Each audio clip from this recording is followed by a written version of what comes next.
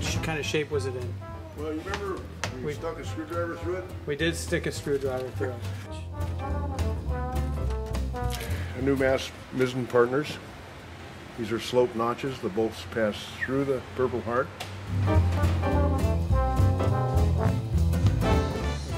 Well, congratulations. Except they did the wrong knee. We did the wrong. we have a nice clean box.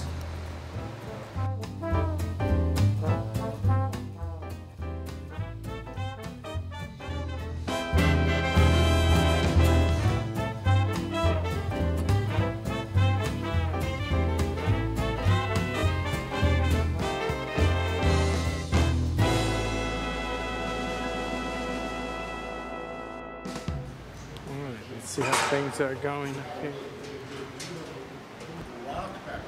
There we see what's going on. Take a closer look here in a second.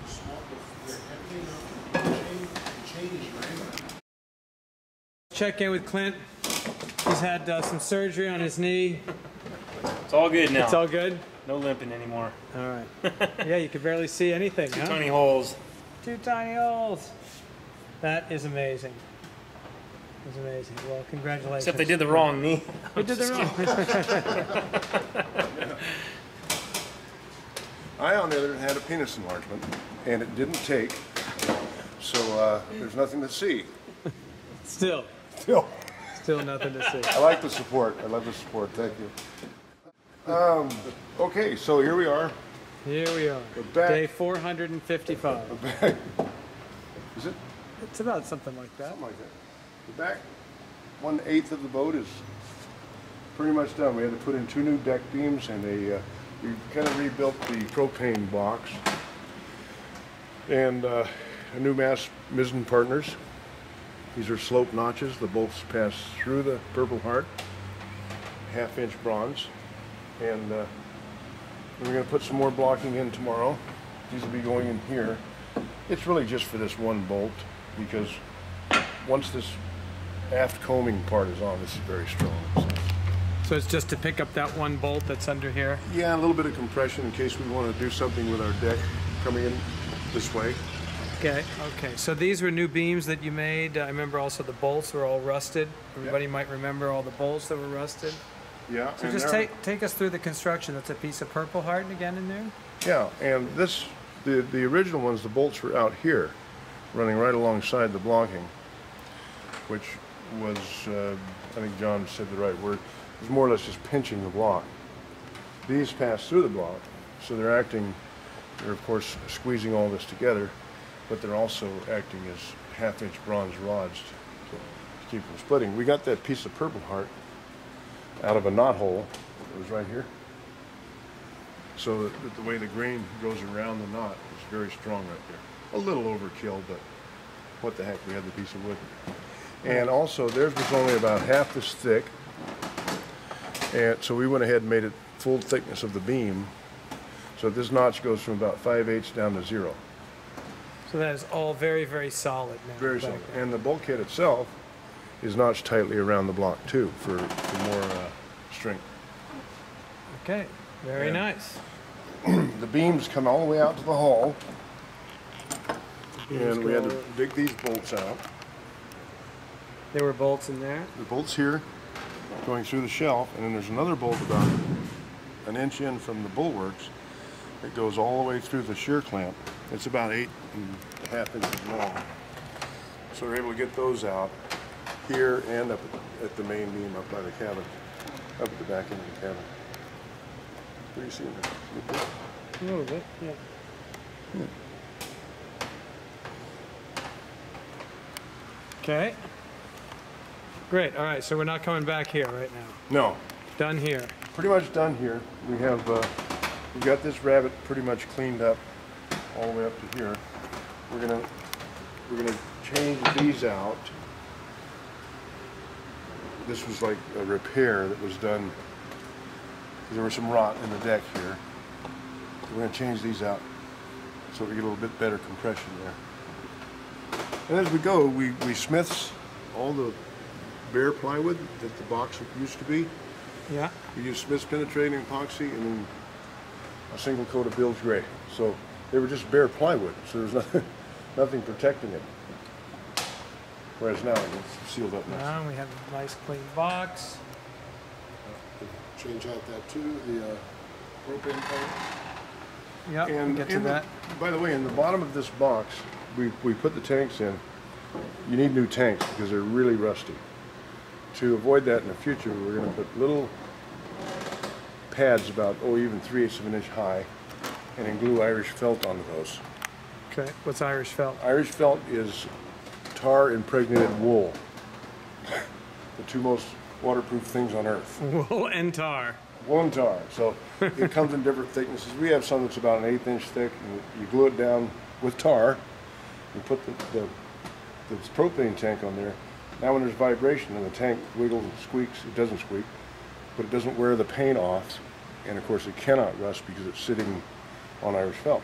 Like when you do a fuel tank or a water tank, you'll see people put them on strips of rubber or plastic. Not good because they will slowly, through vibration, remove the paint and become a moisture trap. Whereas the uh, Irish felt doesn't do that.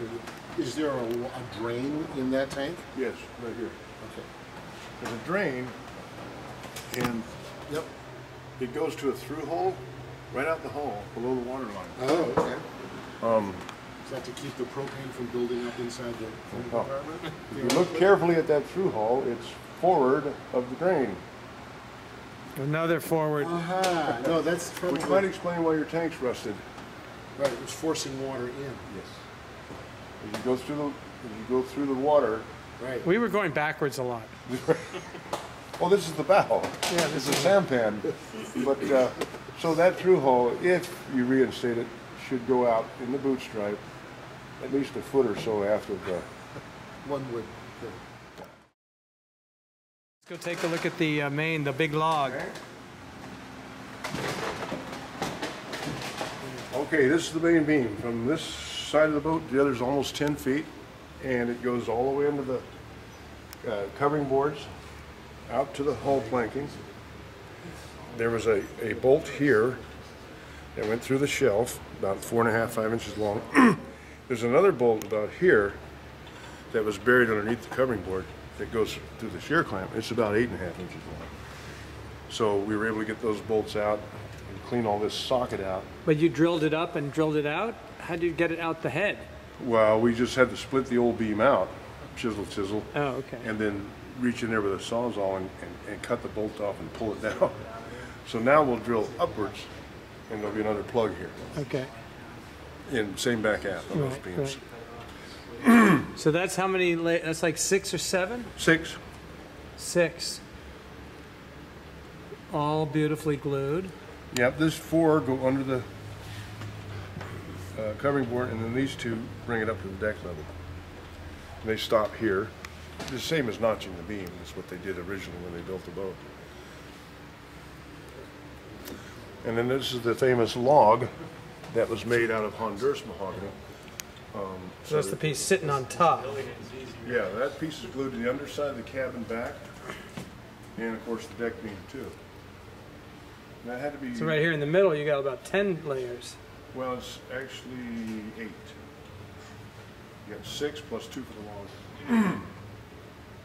Goes all the way across. Beautiful. So that was all in how, well, how what sh- kind of shape was it in? Well, you remember you We- stuck a screwdriver through it? We did stick a screwdriver through it. We stuck it through the, mo- our worry was that the ba- cabin back was rotten. Luckily, it was intact. It was just that log in the beam, uh, mainly because of fresh water standing in those corners and whatnot. Right. We I remember here we had some all kinds of funny stains and things like that. Yes, yes, and you remember this had, this was pieced in in a few places? Yeah. The log? Yeah. Yeah, so that's always a bad sign. So this should all be now eventually tight, waterproof. That we should not be getting any leaking from here. Nope. When we get the window back in, we'll reseal that. Yep. Beautiful. Let's go take a look from inside. Okay. Here we go. Oh, beautiful. And Charles, look at that. talking me out of it, but I don't know, you know, I don't know what else to do. They all tip back into the, because it's only two clamps, or they're just two small clamps, and the aluminum is not strong enough, it's not rigid. So we're gonna have to seal, we'll have to figure out a proper seal. Talking about the, we're talking about the propane box, yeah? Yeah, this was, it was added after the deck was on, because the beam, you can see, this is where the old uh, bolts went through next to outboard of the mizzen blocking, which was only that thick. It actually was this thick, it was notched, which weakened the beam, whereas the slope notch doesn't. But it was here, and then they had cut the deck off here, and there was a little short plank, beep, beep, beep, beep, like that. Yeah, Remember that? yep, So we're not gonna do that. We're gonna put a, blow this out, we're gonna put a new piece across that's wider, and then our new lid will have planks made out of teak, but instead of being caulked, they'll have a slight V groove in them for traction and appearance and drainage, so that this, the, the new propane hatch, and by the way, it'll only be this big. Oh, so There'll be a these will margin board here. Right, you have a real margin board. Yeah, that way it's not this big massive lid that you've got to take off. And it'll sit down inside where it can't get in trouble. We, we are looking at the hatch. Right. the Lazarette hatch. And you can see the actual deck thickness here from back in the day. Yeah, Well, this was left in because this hatch is a real pain because of the way the subframe is built. You see it? okay. Built in four pieces. We're going to do it a little bit differently uh, just to make it easier. This was So you're gonna redo that, that subframe? Well, here's the problem. You see these bolts? Yeah. they come through the frame, uh, through the hatch, through the deck, through the frame, and they are uh, buried in here. Mm -hmm. So, and, and because that bolt, that plug goes kind of a little bit up into this lip, you're gonna have to take a lot of care to get that plug out. So when it goes back together, it looks like something. This is why they call it work, Right. and why you're a shipwright. That's why this is called a hatch instead of some four-letter word. So that's what you see going on there. So the chart table was interesting. It was made out of uh, chopsticks and veneer. That's the top of it. It was made out of little chopsticks. Glued in, glued side to side? See all these? Wh- mean- Why on earth would they have done that? I do not know. Was it really It's made like like? laminated, it's like laminated. Laminate or delaminated, but it was all these. And you can see the, the the veneer peeling. So it was some very mysterious, Construction's type. I type. don't understand. And the, the chopsticks that were here just fell out. Huh. How funny is that? Weird. You can Okay, we're looking at here manifolds for propane. Roger that. Um, you got your little gauges on here. But you see this here was about to go. It's really corroded. You have an iron fitting with a brass or copper fitting attached to it. With some, then we'll throw in a little bit of electrical just to speed the process up. What was that, is that, uh, What was electrical electrical. for? Well, this is for the uh, switch. Propane on, propane off switch. oh, right, right, right, right. So the, the, the line that goes to the stove or whatever Right. accessories goes out here. It's up on the boat still. Oh, yeah, yeah. So uh, we It was don't like know a- the age of that, so rather than take any chances, you just replace all this stuff. Oh, yeah, yeah, there's no. And this is the little bulkhead that we changed. Because it wasn't horrible, but it was just crappy enough to where we said, you know, by the time we clean this up, we can make a new one in twenty Yeah. minutes. All right. So we just made a new one. And, uh, Okay. there.